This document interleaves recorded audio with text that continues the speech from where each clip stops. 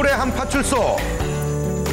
근엄한 분위기가 감돌고 어쩐지 심각해 보이는 이곳을 웬 고양이 한 마리가 신나게 휘젓고 다니는데요. 귀엽네요.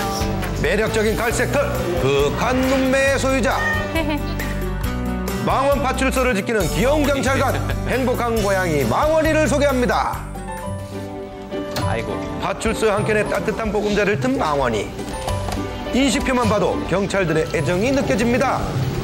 알뜰, 살뜰, 경찰들은 가족 챙기듯 망원이를 세심하게 챙겼는데요. 이거 하면 아주 좋아하죠. 경찰들뿐만 아니라 전국 각지에서 많은 사람들이 무료로 사료를 보내주고 있다는데요. 언제 다 먹어요, 고양이가. 많은 이들의 사랑을 먹은 망원이는 파출소를 종횡무진하며 씩씩하게 무럭무럭 자라고 있었습니다. 무뚝뚝한 경찰관도 망원이에게는 부드러운 남자가 되는데요. 누구의 눈치도 볼 것 없는 망원 파출소 대장 망원이 제일 좋아하는 뜨뜻한 기계 위에 은근슬쩍 자리를 잡더니 꾸벅꾸벅 늘어지게 낮잠을 자기도 합니다. 귀여운 망원이의 행동에 무겁기만 하던 파출소 분위기도 한결 화사해졌는데요. 주치자들도 있고 그래서 근무 갔다 오면 그냥 인상만 쓰고 그러는데 고양이를 보물 해서 분위기가 좋아져서 근무도 또잘 되고 그래서 아주 좋게 좋은 분위기 속에서 근무하고 있습니다.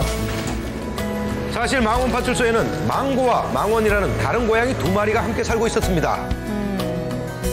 망고 어느 날 한 청년이 길에 유기된 고양이 망고를 발견해 몸이 아픈 망고를 다급히 파출소에 맡겼는데요.